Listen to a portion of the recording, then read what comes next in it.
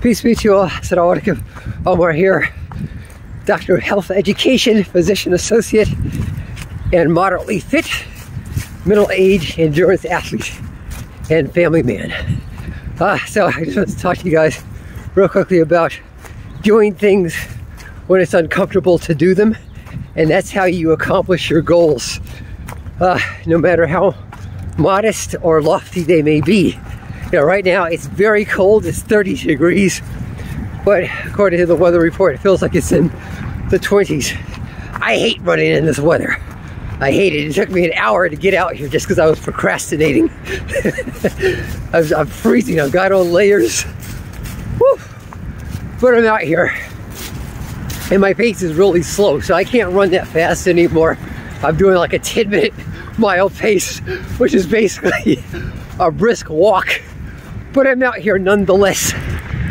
Um, and you know, I say it because you know, several weeks from now, maybe about 10 weeks from now, it's gonna be nice. It's gonna be spring, around 60 degrees.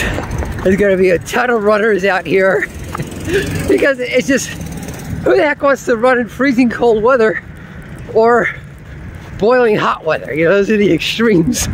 Yeah, you're better off on your treadmill. um, but I come out here for discipline also because you can't control the weather and that's how life is. You can't always control what's in your life.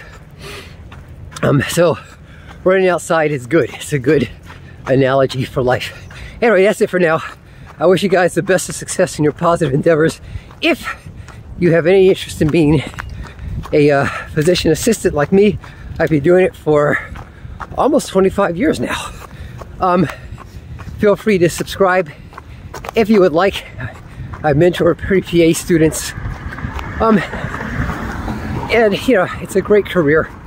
Some of the people who have who I've mentored are in PA school now.